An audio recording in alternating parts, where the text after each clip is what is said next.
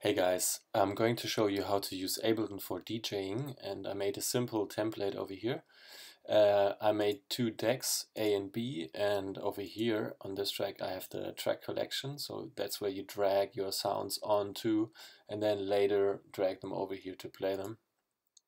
Um, the clue of this tutorial is actually this effect control section where I made some chains of effects that can be applied on those tracks that you're playing here in order to have a nice transition.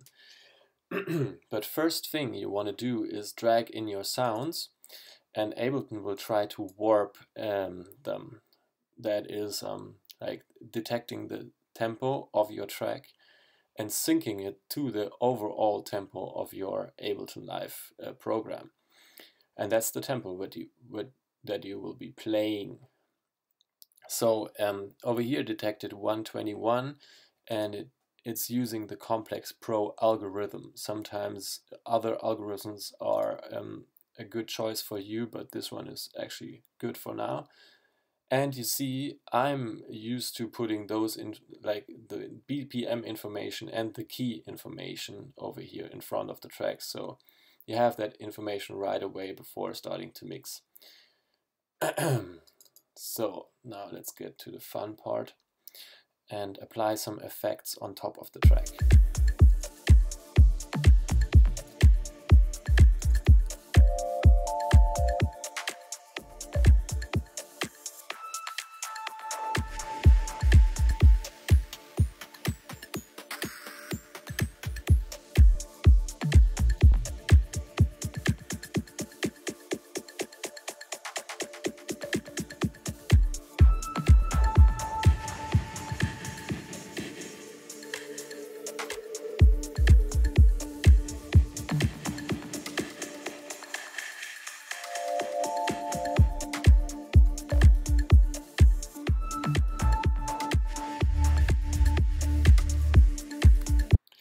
So as you can see, um, there are several nice effects over here. You use you can use them for mixing to the other deck.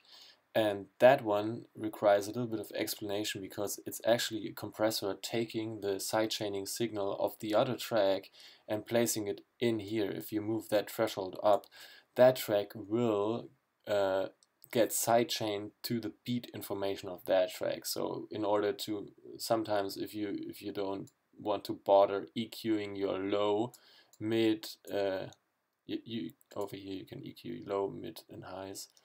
Um, that's also pretty important for mixing. We get to that in a second. If you forget that, uh, putting this um, sidechaining on will make sure you don't have too much bass in your mix if you play both tracks at a time. So let's uh, make a simple mix.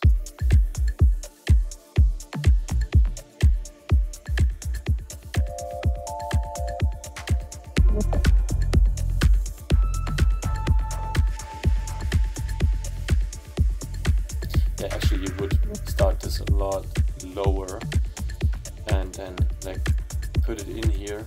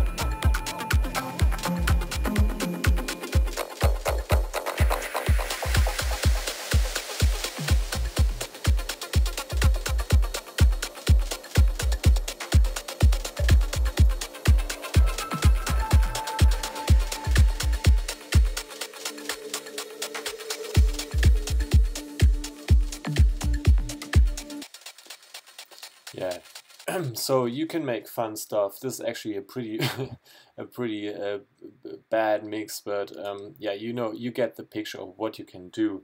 And I'm quickly going to show you what those effect chains are actually doing over here. I'm, I'm, I'm taking the two-step delay and uh, you see if you turn up this knob all those devices get like the filter gets activated and the dry wet gets up over here. There's a little bit of um, the the resonance going up and um, all the effects basically they have get when they get applied they get a low cut because you don't want to mess around with the low frequencies with the bass frequencies in your in your uh, effect application because a delay effect with bass just sounds mostly pretty bad. And you see like this knob tweaks all those devices and gets you a nice effect. So all of them have a low cut and um, yeah get a little bit of more amplification in the high frequencies once they get applied. And um, yeah um, so this uh, this is a very basic but very powerful um, DJ setup for DJing with Ableton. And of course you would adjust all the knobs um, and, and map them to your MIDI controller like Ableton Push or um, some other MIDI controller well Ableton Push would like trigger this by itself, but any other could be mapped using the MIDI mapping function over here. And yeah, and you're going to be fine um, already prepared for, for playing with this setup.